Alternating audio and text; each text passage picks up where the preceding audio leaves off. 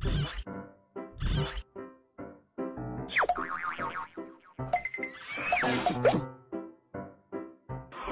you.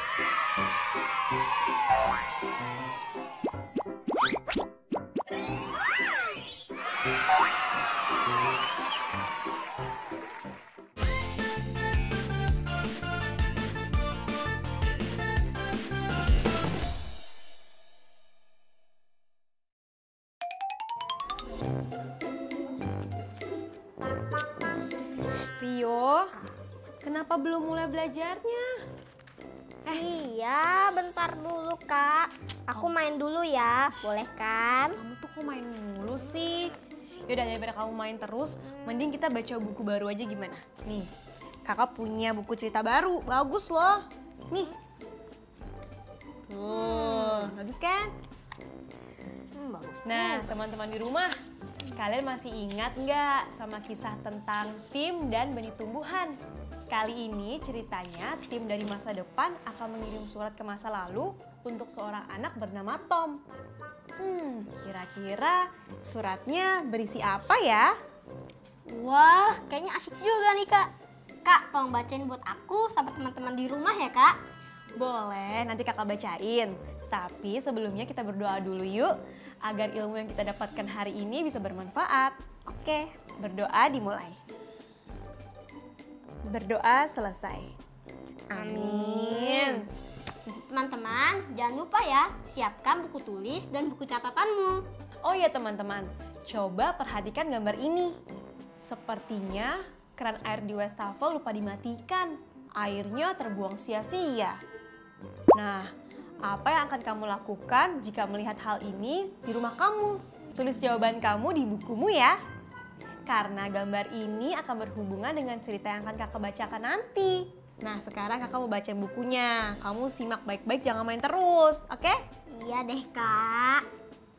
Yuk kita mulai. Surat untuk Surat untuk Tom. Matikan lampunya, Tom. Tom mendengar suara Mama berteriak. Mama selalu seperti itu mengingatkan Tom. Tom harus mematikan lampu kamarnya jika tidak dipakai. Tom tidak boleh lupa mematikan keran air di kamar mandi. Tom tidak boleh berlama-lama di depan kulkas. Mama tidak tahu udara akhir-akhir ini sangat panas. Sehingga Tom mendinginkan tubuhnya dengan duduk di depan kulkas yang terbuka. Tom cemberut, ia memilih keluar rumah. Di luar, Tom tidak akan mendengar suara mama. Tom akan bermain dengan kelinci peliharaannya saja. Tom baru saja duduk di dekat kandang kelincinya. Angin bertiup sepoi-sepoi. Mata Tom mengantuk dan hampir tertidur. Ketika sesuatu menyentuh ujung hidungnya, Tom kaget. Sebuah kartu pos. Siapa yang melemparnya? Tom mengambilnya dengan kesal. Kartu pos bergambar seorang anak laki-laki memakai respirator. Hai Tom. Hah? Anak itu tahu namanya. Tom kaget ketika menemukan namanya pada kartu pos itu.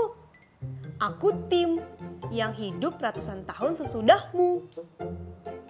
Seminggu yang lalu, aku bermimpi tentangmu. Tentang pohon-pohon yang tumbuh subur, juga sumber air yang berlimpah. Di tempatku tidak ada pohon lagi. Air pun sulit didapat. Tom terus membaca. Kamu tahu, untuk keluar rumah, aku harus memakai respirator. Kalau tidak, udara kotor bisa masuk ke tubuhku dan nafasku akan menjadi sesak. Semua itu disebabkan dahulu tidak ada yang mau berhemat energi. Lampu dibiarkan terus menyala, keran air tidak dimatikan, pohon ditebang. Sampai di sini Tom berhenti membaca. Apakah tim tahu apa yang Tom lakukan? Jika tidak berhemat, energi akan habis. Kalau sudah habis, kamu akan merasakan hidup seperti aku. Gelap, penuh polusi yang membuat sakit, dan tidak ada teman. Semua memilih hanya tinggal di rumah. Tom mulai sedih. Aku tunggu balasan suratmu. Letakkan saja di dekat kandang kelincimu dan biarkan angin menerbakannya surat balasanmu. Tom, gawat. Itu suara mama. Tom lupa, ia tadi menyalakan televisi dan belum mematikannya. Mulai hari ini, Tom berjanji tidak akan lupa lagi. Tom tidak ingin mengalami nasib seperti Tim. Nah, itu dia deh cerita pendek surat untuk Tom.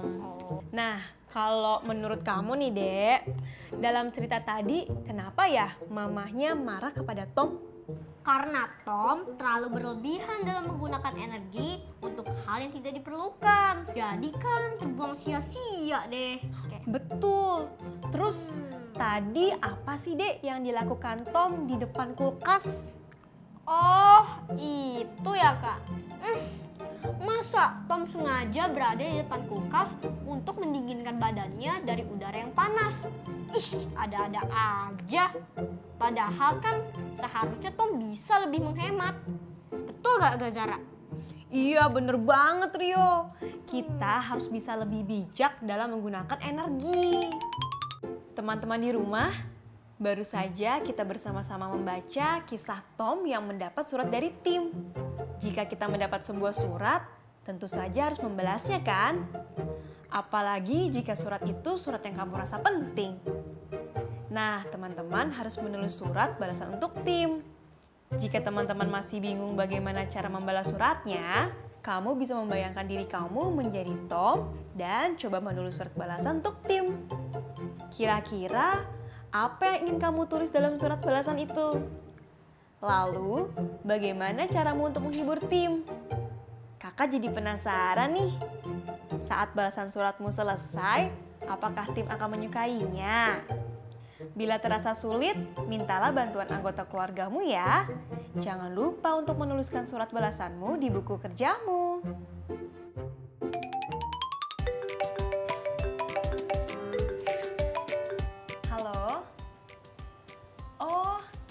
Iya San. Ini Sasa lagi belajar kelompok sama Rio. iya, sama-sama ya San. Iya, dadah. Kak, Hmm, kakak lagi nelpon siapa sih? Kok ada kata san? Itu apa san? Oh itu, San itu adalah kata sapaan. Jadi digunakan untuk menyapa nama Hasan, kakaknya Salsa. Kak Hasan tadi nelpon Kak Zara. Iya, tadi Kak Hasan telepon kakak untuk menanyakan Salsa. Nah, sekarang kakak mau nanya, kalian berdua udah paham belum tentang kata sapaan? Belum, Kak. Ya udah, nih kakak kasih tahu ya. Kata sapaan adalah kata yang digunakan untuk bertegur sapa dengan lawan bicara. Nah, kata sapaan ini digunakan untuk orang yang lebih tua. Tentunya berbeda dengan kata sapaan untuk teman sebaya. Seperti tadi kak, Kak Zara dengan Kak Hasan. Iya, betul banget Rio. Nah, contohnya, San, kamu habis dari mana? Itu contoh sapaan untuk teman sebaya. Nama Hasan bisa disapa dengan San. Kalau sapaan untuk yang lebih tua, bagaimana Kak? Kalau untuk itu, kamu harus menggunakan kalimat yang lebih baku. Contohnya seperti ini. Selamat pagi Bapak Guru. Atau apa kabarnya Tante? Gimana? Sekarang Salsa sama Rio udah lebih paham kan? Udah, Kak. Bagus kalau gitu. Sekarang saatnya kita berlatih menggunakan kata sapaan. Pertanyaan pertama. Apabila kamu bertemu dengan gurumu di jalan, sapaan apa yang akan kamu gunakan? A. Hei Pak, apa kabar? Atau B. Selamat pagi Pak. Jawabannya B kak. Selamat pagi pak. Betul. Karena jawaban B lebih sopan digunakan ketika kita menyapa seseorang yang lebih tua. Pertanyaan kedua, jika kamu melihat temanmu dan ingin memanggilnya, sapaan seperti apa yang akan kamu gunakan? A. Hai Andi. B. Pak Guru, saya ada perlu. Jawabannya A, Kak. Hai Andi. Salsa benar. Jawaban A adalah sapaan yang tepat untuk teman sebaya. Nah, teman-teman di rumah, sekarang giliran kamu untuk menjawab pertanyaan berikut ya. Ketika kamu sedang mencari alamat dan kamu ingin bertanya pada seorang nenek, sapaan apa yang tepat? A. Nek, tanya alamat ini dong. B. Permisi, Nek. Saya mau bertanya. Saat kamu ingin membeli bakso, kalimat sapaan mana yang tepat? A. Bro, berapa harga semangkuk bakso? B. Bang, berapa harga semangkuk bakso? Jangan lupa ya, tuliskan jawabanmu di buku kerjamu. Oke teman-teman. Dan mintalah anggota keluargamu untuk mengeceknya.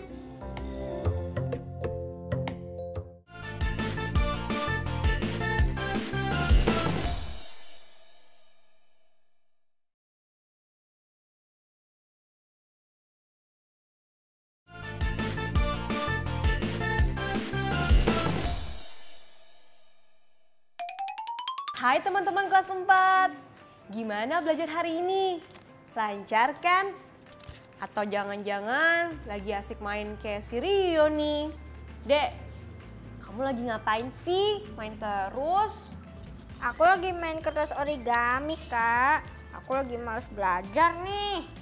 Loh, kok gitu? Nggak boleh malas belajar dong. Hmm, gimana kalau kita belajar menggunakan kertas origami ini? Mau nggak? Emang bisa kak? Bisa dong. Kalau bisa, boleh deh kak dicoba. Teman-teman di rumah penasaran juga kan? Nah, Kak Zara punya beberapa gambar kertas origami seperti ini. Coba kalian perhatikan dengan seksama ya. Kalian boleh menyalinnya terlebih dahulu di buku latihan masing-masing. Coba kita perhatikan gambar pertama ya. Tabel menunjukkan bahwa gambar persegi nomor satu yang diarsir penuh dengan warna biru ini memiliki luas 20 cm persegi. Nah, sekarang coba perhatikan gambar kedua. Berapa luas daerah yang diarsir biru? Terus pakai origaminya gimana kak? Yuk kita bahas dengan mencoba aplikasikan memakai origami.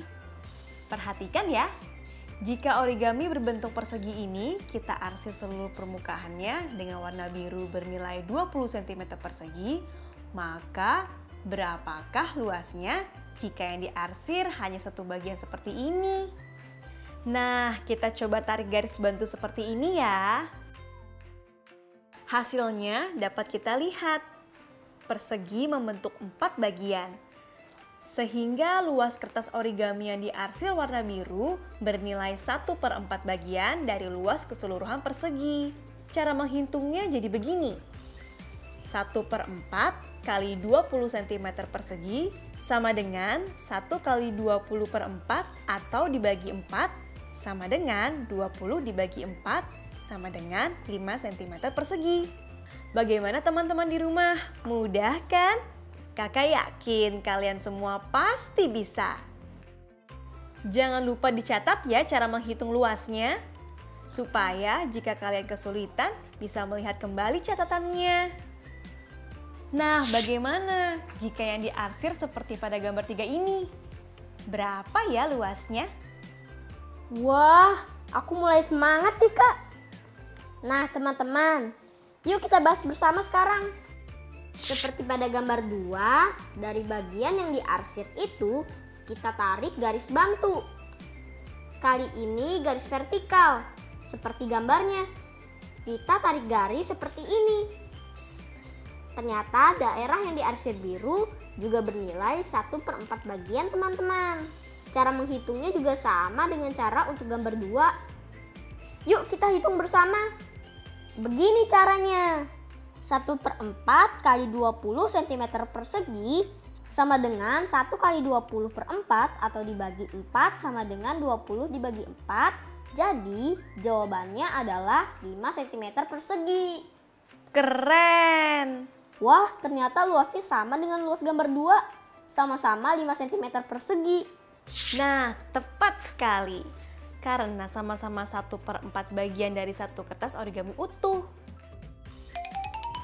Gimana Rio? Sekarang udah paham kan? Oh udah paham kak. Kalau kita memperhatikan dengan baik, ternyata mudah juga ya kak. Betul. Fokus adalah kunci utama biar kita paham dengan materi yang disampaikan. Kakak yakin kalian semua juga pasti sudah paham. Eh, Rio dan teman-teman di rumah, kalian tahu tidak berapa banyak biaya pemakaian listrik di rumah masing-masing? Terus, kalian tahu juga tidak kita mendapatkan sumber listrik itu dari mana? Nah, kakak ada informasi nih buat menambah pengetahuan kalian.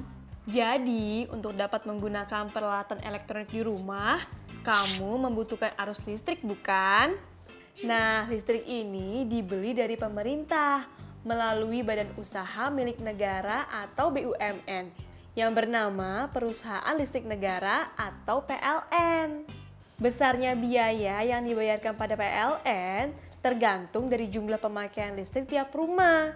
Saat ini PLN telah menyediakan layanan prabayar. Prabayar ini artinya pelanggan perlu membeli listrik terlebih dahulu dalam bentuk pulsa atau token sebelum dapat menggunakannya. Maksudnya bagaimana kak? Ya maksudnya untuk bisa menyalakan listrik di rumah, kita harus membeli listrik dalam bentuk pulsa atau token terlebih dahulu. Contohnya bagaimana kak? Misalnya, dengan nominal Rp100.000, pelanggan dapat membeli 66,2 kWh di mana 1 kWh itu sama dengan 1000 watt. Jika kita bulatkan ke dalam satuan terdekat, maka kita mendapat daya sebesar 66 kWh untuk setiap pembelian token listrik dengan nominal Rp100.000. Oh, jadi intinya kita beli dulu token listriknya, baru arus listriknya bisa dipakai. Begitu ya kak? Betul sekali. Nah, kamu tahu nggak berapa lama kira-kira listrik 66,2 kWh ini dapat digunakan di rumah? Gak tahu kak. Emang bisa dihitung ya? Bisa dong. Kakak kasih contoh perhitungannya ya. Misalnya, sehari-hari keluarga di rumah menggunakan listrik sebesar 1600 watt hour. Kita bisa ubah satuannya menjadi kWh. Ingat, 1000 watt sama dengan 1 kWh. Jadi, 1600 watt sama dengan 1,6 kWh. Nah, untuk memudahkan perhitungannya, kita dapat bulatkan 1,6 kWh ke satuan terdekat, yaitu menjadi 2 kWh. Dengan demikian, untuk mengetahui berapa hari kita dapat menggunakan arus listrik yang kita beli, kita dapat menghitungnya dengan cara jumlah KWH yang dibeli dibagi dengan jumlah pemakaian sehari. Untuk memudahkan perhitungannya, kita dapat membagi hasil pembulatannya saja, yaitu 66 KWH dibagi dengan 2 KWH. Hasilnya adalah 33. Jadi, keluargamu dapat menggunakan 66 KWH dalam 33 hari. Gimana? Mudah bukan? Oh, begitu ya kak. Aku paham sekarang. Ternyata mudah juga. Apalagi kakak menjelaskannya dengan menggunakan pembulatan dulu. Jadi Rio bisa lebih mengerti deh. Iya dek, dengan menggunakan pembulatan, kita dapat melakukan penaksiran atau perkiraan dengan lebih mudah. Dek, kamu lagi ngapain sih? Hmm? Ini nih kak, aku sedang melakukan pembulatan daya listrik ke satuan terdekat. Oh, emangnya kamu masih ingat caranya? Hmm, ingat dong kak. Hmm, coba contohin gimana pembulatannya. Oh oke. Okay. Teman-teman, yuk kita coba lakukan pembulatan ke satuan terdekat bersama. Teman-teman, kita diminta untuk membulatkan daya listrik ke satuan terdekat yang diperoleh dari pembelian listrik prabayar sesuai nominal. Coba kita lihat data di nomor 1. Nominal rupiahnya 20.000. Daya yang didapat 13,6 kWh. Nah, pembulatan daya ke satuan terdekatnya kita lihat angka di belakang koma, yaitu 6. Maka pembulatan kesatuan terdekatnya menjadi 14 kWh. Hebat! Bagaimana dengan data nomor 2? Pada nomor 2 dengan nominal Rp50.000 mendapatkan daya sebesar 33,1 kWh. Dibulatkan menjadi 33 Kak. Nah teman-teman, coba perhatikan data nomor 3 sampai 5. Pembulatannya menjadi seperti ini. Catat ya. Nah, sekarang Kak Zara punya data pemakaian listrik di beberapa rumah nih. Coba teman-teman bulatkan pemakaian listrik di masing-masing rumah pada lingkungan perumahan ini. Setelah itu, pilih nominal pada tabel pertama yang akan mencukupi pemakaian listrik untuk satu bulan dan untuk satu kali pembelian. Nah teman-teman, jangan lupa dicatat dulu ya. Tabel ini bisa kalian isi dengan memperhatikan tabel satu yang tadi sudah dijelaskan contohnya oleh Rio. Kita coba bahas rumah nomor satu ya. Pemakaian listrik per bulannya 31,1 kWh. Pembulatan pemakaian listrik per bulan kesatuan terdekatnya 31 kWh. Maka, berdasarkan tabel pembulatan pertama, nominal pulsa listrik termurah dan cukupnya adalah Rp50.000. Nah, sekarang coba deh Rio yang bahas nomor 2. Oke kak, Rumah nomor 2 kita bisa lihat pemakaian listrik per bulannya adalah 9,5 kWh. Kemudian dibulatkan pemakaian listrik per bulan kesatuan terdekatnya menjadi 10 kWh. Jika dilihat pada tabel pembulatan sebelumnya, daftar daya terendahnya adalah 13,6. Berarti perkiraan nominal pulsa listrik termurah dan cukupnya adalah Rp20.000. Begitu kan kak? Betul. Tepat sekali. Nah, untuk soal ketiga sampai kelima, kalian bisa kerjakan sendiri ya teman-teman. Jika kesulitan, bisa minta bantuan orang tua atau diskusi dengan teman belajarmu ya. Jangan sungkan untuk bertanya. Selamat berlatih! Teman-teman, jangan lupa ya mencatat judul cerita yang sudah kita baca hari ini. Seperti hari ini, kita sudah membaca cerita pendek berjudul Surat untuk Tom. Karena cerita ini, kita semua jadi diingatkan kembali jika kita menyayangi bumi ini bisa dimulai dengan bersikap hemat dalam menggunakan energi dan menjaga lingkungan. Teman-teman, inilah yang sudah kita pelajari hari ini. Selesai deh pelajaran kita hari ini. Tapi aku sangat senang karena dapat ilmu baru lagi hari ini. Iya bener banget Rio. Dan jangan lupa untuk selalu menghemat energi listrik dan air ya untuk masa depan kita. Sampai jumpa lagi teman-teman. Dah. Da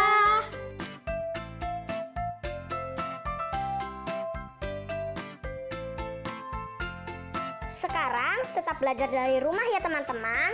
Ingat, jaga jarak, rajin mencuci tangan, dan pakai masker agar kita mencegah penyebaran COVID-19. Sampai jumpa!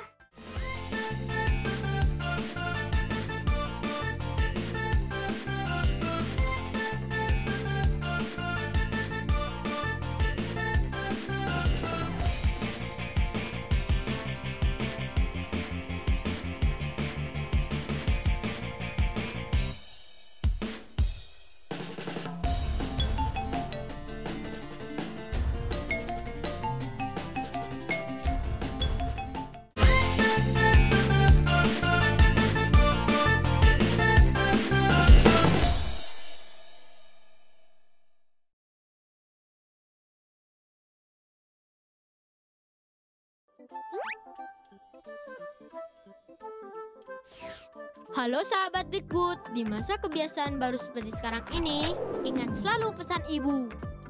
Keluar rumah kalau penting saja ya nak, ingat untuk selalu 3M.